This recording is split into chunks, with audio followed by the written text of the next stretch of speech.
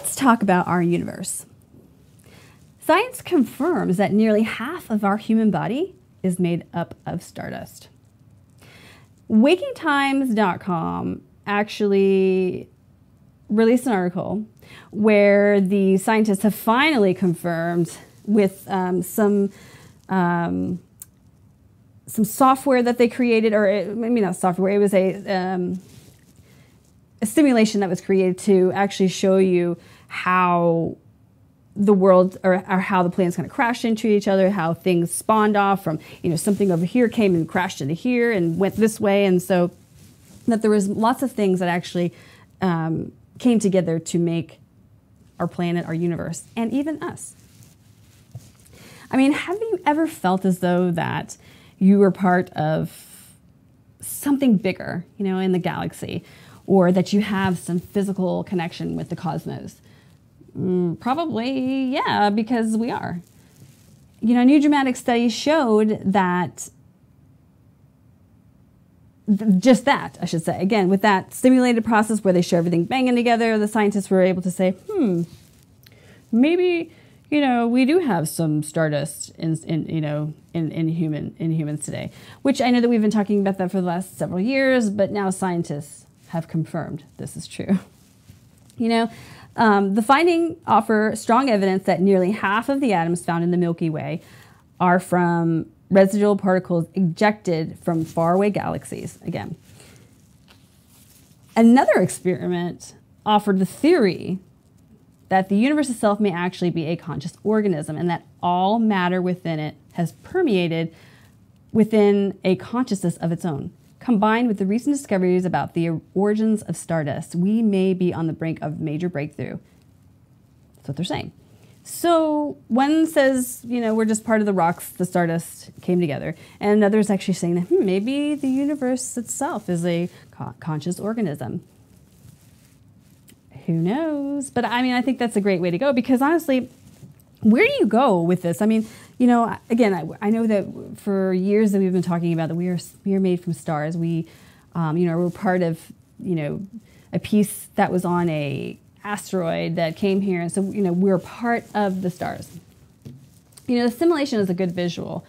Um, you know, you create something and say this is probably what happened because it shows you that you know we're like everything is like a blender. You, you know, if things come from here, you know, every action, you know, causes a reaction. But what do you do with that? So now you say that we are part stars. Now what? I would love to see some real tests done on what are you going to do with that information. I mean, rather than, you know, the simulation again, which is good, but, you know, a simulation doesn't really test, you know, the particles, the, the, the, the, the facts of where we came from. But but it's a good start, like I said. You know, another thing is um, the, a cool thing is I should say, the six most common elements of life on Earth, including more than 97% of the mass of the human body, are carbon, hydrogen, nitrogen, oxygen, sulfur, and phosphorus. And again, these are the same elements that are abundant at the center of our Milky Way galaxy. And the cool thing is that one of the most fascinating elements is phosphorus. Phosphorus actually can be highly poisonous and combustible. That um, white phosphorus is used in many destructive weapon, weapons, such as napalm. It was also the first element discovered since ancient times. The person who has made this discovery was Henning Brand in 1669, who, who did so while he was playing around with large amounts of urine. Anyways, Brand called the new element cold fire because it glowed in the dark. The name of the element comes from the Greek word phosphorus, which means bringer of the light. That is another topic. So I just think that's very interesting that a piece of us that we're made of, the phosphorus, you know, we have that element within us, which has actually been known to have this um, this this light inside in, in the actual properties itself. It's very uh, disastrous. Like uh, um, I saw this one um, like science video where they this guy actually poured phosphorus into a um, like a clear beaker with nothing in it, and it actually began to flame. Phosphorus actually is known to burn air.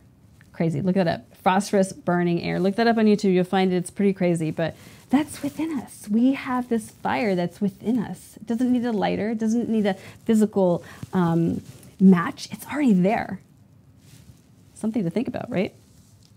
Very, very, very interesting. So now, what do we take with that? Scientists, if you're watching, start there. How do we ignite that phosphorus? I don't know, maybe it's not a good thing.